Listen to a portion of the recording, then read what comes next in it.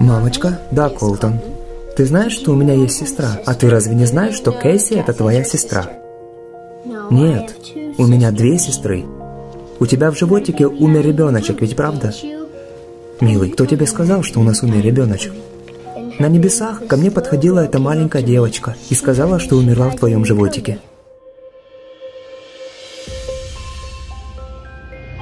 Срочно везите его в операционную.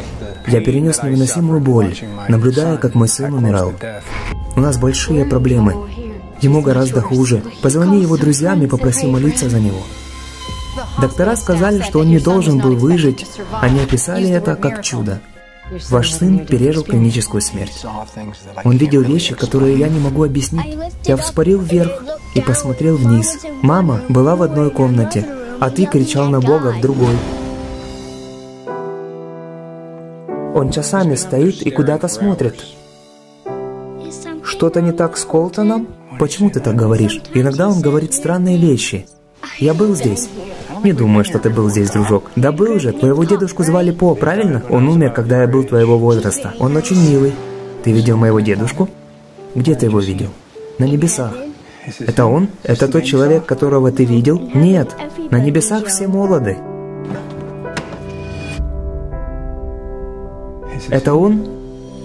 Да, это он. Это Поп. Дорогая, зачем ты ударила ребенка в нос? Они смеялись над Колтоном. Ты накажешь Кэсси? Нет, конечно. Я научу ее бить так, чтобы не повреждать костяшки пальцев. Я хочу ему верить, но все, о чем он говорит, невозможно. Ты видел небеса? Как это выглядит прекрасно. Мы все хотим поддерживать его, но нельзя допустить, чтобы город превратился в цирк. Они мне не верят, да? Некоторые люди боятся верить. Ты не думаешь, что мы должны говорить о земной жизни? Ты правда думаешь, что мой сын пошел на небеса? Когда он уходил, он сказал, что все хорошо.